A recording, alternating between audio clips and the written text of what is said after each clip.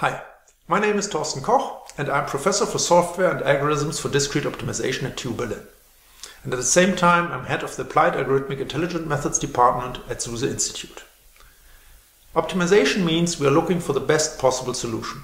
And it's discrete because we are dealing with whole objects, for example integers. Suppose the task is to find the shortest route for a 40 ton truck.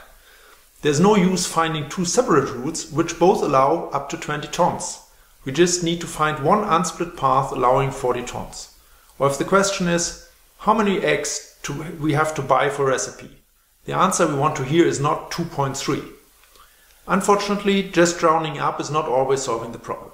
And as it turns out, many questions get much more difficult to solve once you insist on an integer answer. In a way, I try now for more than 40 years to get computers to do what I want them to do. And recently I added the more challenging task of trying to get students to do what I want.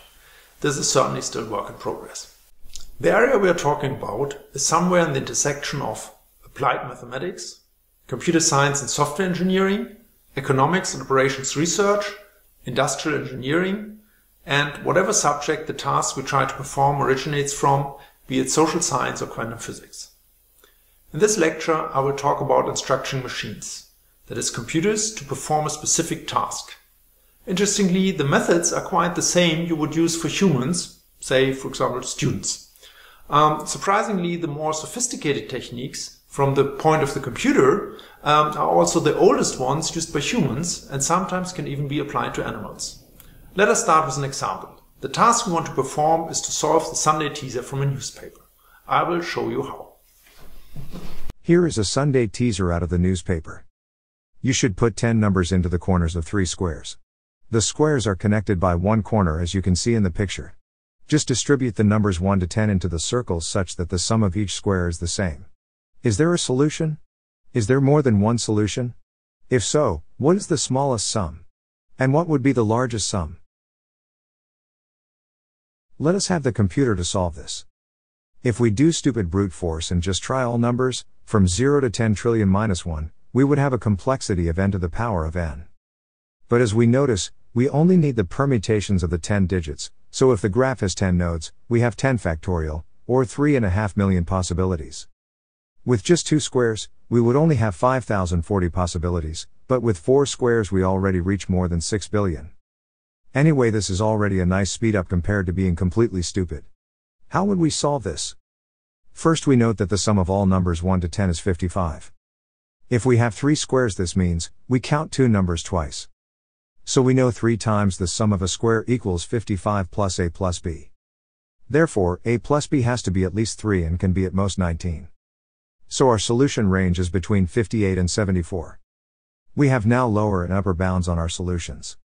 But we can still strengthen these bounds by observing that the solution must be divisible by 3, so we can round this up to 60 and down to 72.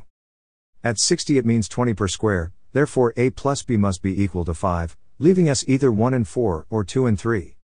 From then on, there are not so many choices left. Now let us build a mathematical model for this. We introduce variables x1 to x10 which have to be integers between 1 and 10. First we go for the minimum square sum. So we minimize x1 to x4, since all squares should be equal there is no point to also have the other variables in the objective. Then we introduce the constraints, square 1 should be equal to square 2 and square 2 equal to square 3. We always omit the joint variable. Finally all xi should be different. This is now a model.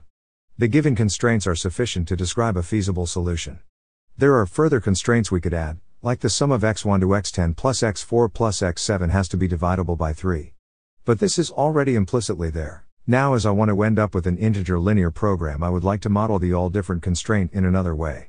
I will explain later why it is not a good idea to model all different using the x variables. Though it is technically possible. What we do is we introduce additional binary variables z. There are 10 0 1 z variables associated with every x variable. From these 10 we always require exactly one variable to be 1 and all others to be 0. The z variable indicates which digit is our current choice for the corresponding x variable. So we have a binary variable for every digit of every variable. And of course each variable can only have one digit active. But also each digit is allowed to be active in only one variable at a time. So we get this table, and each row and column sums up to 1. We now connect the x and the z variables by this equations where each z is multiplied by its digit. We now use in so-called algebraic modeling language to write this up. As you can see, it is just the mathematical notation written down.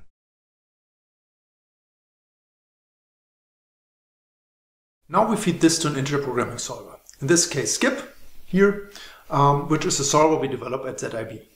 As you can see, it finds a solution very fast.